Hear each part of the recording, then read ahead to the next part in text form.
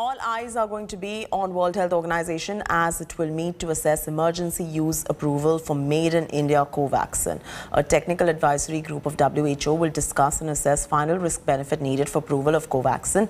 Prime Minister at the G20 uh, meeting in Italy categorically said that emergency approval for Covaxin will help India in assisting other countries to vaccinate their population.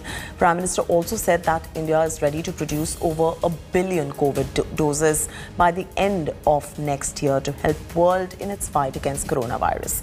So far, 11 countries, including Australia, have approved Covaxin.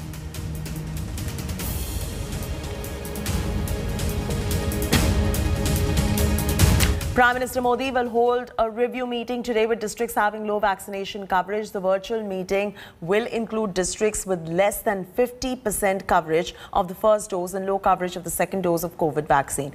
Prime Minister will interact with district magistrates of over 40 country uh, districts in Jharkhand, Manipur, Nagaland, Arunachal Pradesh, Maharashtra and Meghalaya.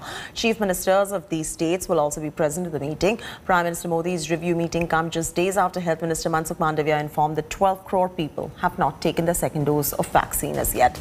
Till now, 73.7 crore first doses covering 78% of the eligible population and 35, 33.5 crore second doses covering 35.2% of the eligible population have been administered. And the holy town of Ayodhya is all set to celebrate the Festival of Lights. This year is going to be special as the Ram Temple is city is decked up for the mega festivities. The city of Ayodhya is being lit up with more than 9 lakh diyas. This is the first time that the festivities have been scaled up to this level and the administration has sought the assistance of over 12,000 volunteers to help light diyas. There are grand plans for a laser show, sound and light show, use of drones and 3D projection of the Ramayana. 500 drones will draw various events from the Ramayana on Ayodhya skyline. 3D holographic shows and projection mappings are also the highlights of this Deepotsav celebration. As the battle for 2022 hots up, Ayodhya is at the center of political debate. UP Chief Minister Yogi Adityanath has visited multiple times. SP, BSP are all making temple runs. Take a look.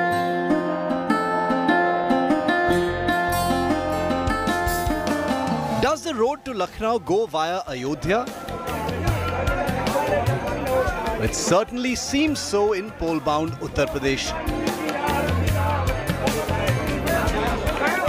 With an eye on the crucial upcoming elections, political parties are rushing to the hallowed ground of Ayodhya. Lord Ram's birthplace has become the new arena to get political mileage. From Uttar Pradesh Chief Minister Yogi Adityanath to the Aam Party's Arvind Kejriwal to the BSP's Satish Chandra Mishra, all are seeking Ram's blessings.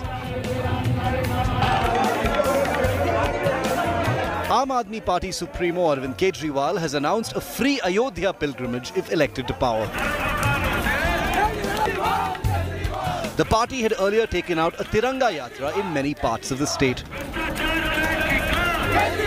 प्रभु से मांगे एक तो अपने देश की लोगों के लिए सुख शांति देश का विकास और दूसरा कि प्रभु मुझे क्षमता दे और प्रभु मुझे ताकत दे कि मैं ज़्यादा से ज़्यादा देशवासियों को यहाँ पे लाके उनके दर्शन करा सकूँ।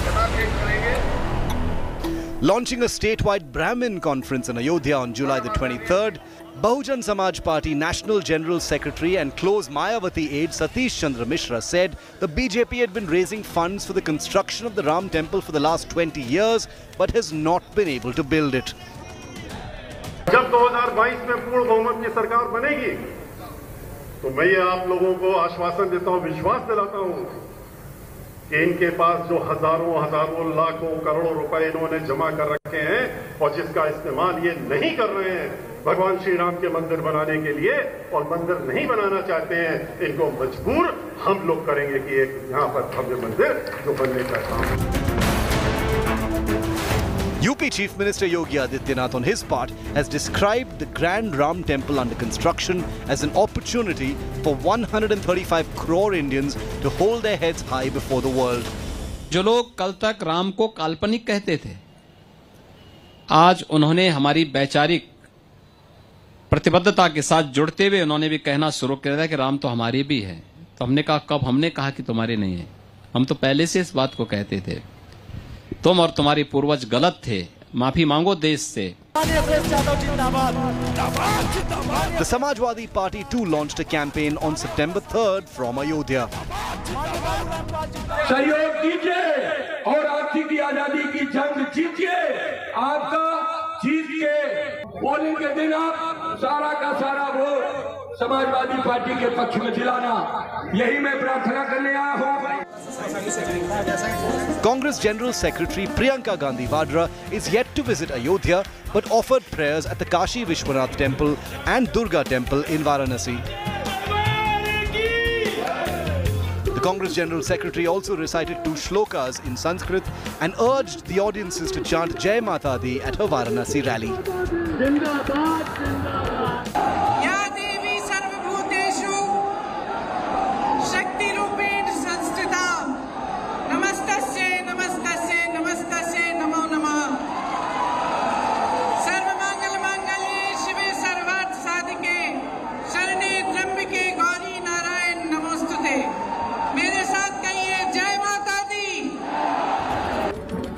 Political pundits see the temple runs by opposition leaders as a bid to breach the BJP's Hindutva vote bank ahead of the crucial Uttar Pradesh election.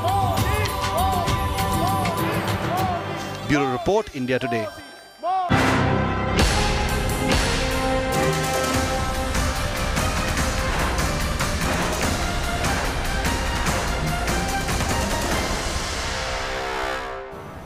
Over a month after he stepped down as Chief Minister of Punjab, Captain Amrinder Singh officially resigned from the Congress party on Tuesday. In a letter to the UPA chief, Sonia Gandhi, Captain accused the Gandhis of hatching a conspiracy against him by calling a midnight CLP meeting. Here's more coming in that story.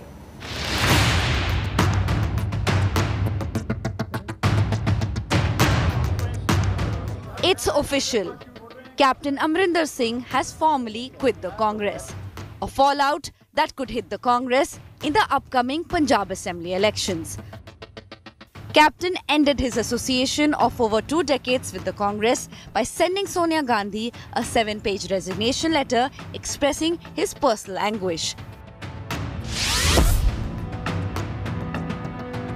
The two time Punjab Chief Minister accused the Gandhis of hatching a conspiracy against him by calling a midnight CLP meet, a move to deliberately keep him out. He pinned the blame on Congress for appointing Navjot Singh Sidhu as the Punjab unit chief, describing him as an acolyte of Pakistan. He added that the former cricketer's only claim to fame was abusing the captain. The former chief minister called Harish Rawat the most dubious individual he knew of and concluded his letter on an emotional note by telling Sonia that he is hurt by the conduct of the Gandhis. The captain now begins a new innings. He has floated the Punjab Lok Congress and aims to contest the next assembly polls. series of tweets from your media advisor Raveen Thukral making it very clear that you've decided to leave the Congress and form your own party. Am I correct? Absolutely. No turning back on, on that decision. No, because it was done in a very shoddy fashion, uh, the way I was asked to go. So I was taken by surprise that four months, three months earlier I said, I want to go and now you're telling me to resign. I said, fine ma'am, if you want me to go, I'll go. She said, I'm sorry, Amrinda. I said, that's not, uh, you don't need to be sorry about it. But I, know, I never asked her why and what was the reason. I said, fine, you want to go, I'm an old soldier, I'll go. The Punjab Lok Congress is battle ready. The captain does not rule out the possibility of an alliance with the BJP or Akalis. But now it appears that you've got some kind of a deal with Prime Minister Modi and Home Minister Amit Shah. No, because no- you seem to be suggesting from what you've said, Mahagathbandhan with the BJP. Have you already discussed, negotiated with the BJP? No, no, no. I, I can tell you this much that I, uh, as far as the BJP, I have been saying it publicly that if we can get together, if, if this is if this issue is resolved, then we can always have seat adjustments with the BJP. We can have also seat adjustments with the Akali Dal. The Punjab Congress is in choppy waters. ever since it made Charanjit Channi the new chief minister by overlooking Sidhu's claims to the post.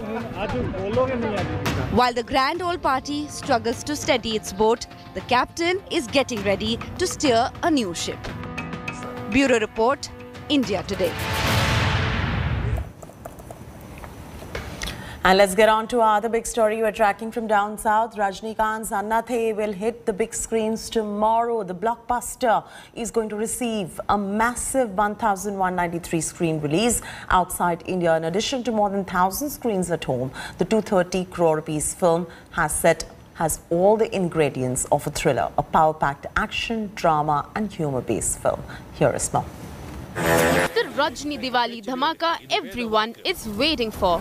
The Thalaivar is back on the silver screen this Thursday. Rajnikant starrer Annaatthe promises to be a cracker of a movie. The 230 crore film set in a rural background will have all the ingredients of a thriller with action, drama, humor and lilting music. And it has an ensemble cast comprising Nayantara, Kirti Suresh and Prakash Raj. The much awaited release comes days after Rajnikant returned home from hospital after a minor surgery. சிகிச்சை முடிந்தது நான் நல்லா இருக்கேன் இன்னைக்கு night தான் நான் வந்து வீட்டுக்கு வந்தேன் எனக்கு வந்து என்னுடைய ஆரோக்கியத்துக்காக பிரார்த்தனை செய்த எல்லா நல்ல உள்ளம் கொண்ட ரசிகர் பெருமக்களுக்கு என்னுடைய மனமார்ந்த நன்றியை தெரிவித்துக் கொள்கிறேன். எனக்கு கொடுக்க சொன்ன எல்லா உலமும் செல்வமும் என் தகச்சிக்கு கொடுக்க சொல்லுங்க. Goa's fans are ecstatic, even more so after the Tamil Nadu government allowed 100% occupancy in theatres.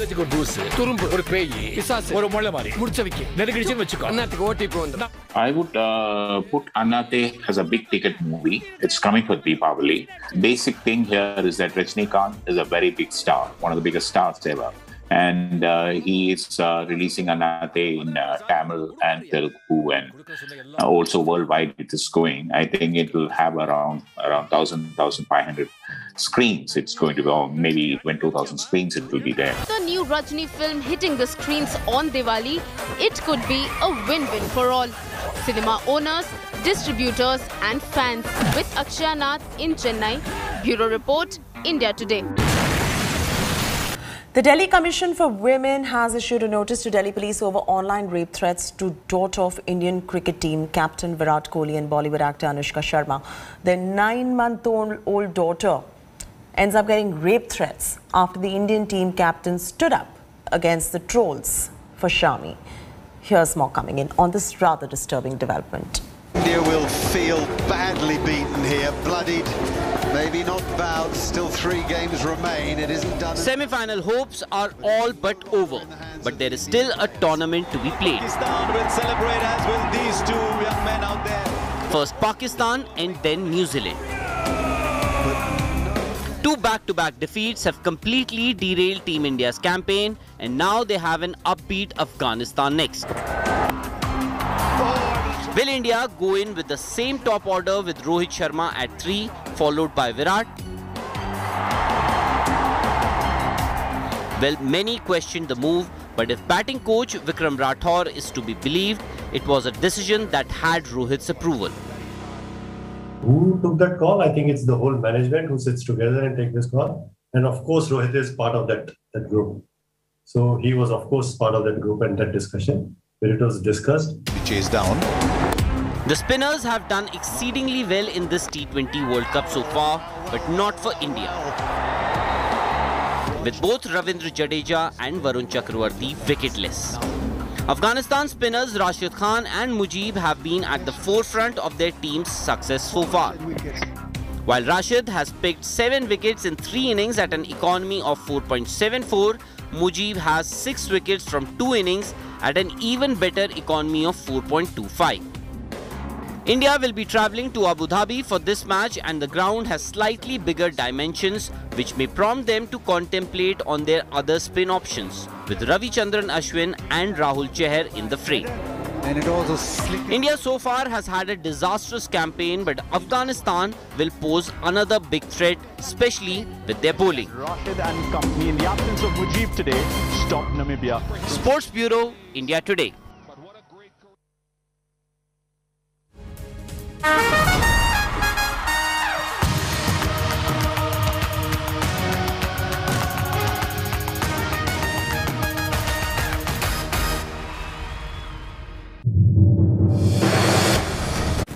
That's it from me, Chaiti Narula on this bulletin. For further news and updates, don't forget to log on to indiatoday.in or download our app.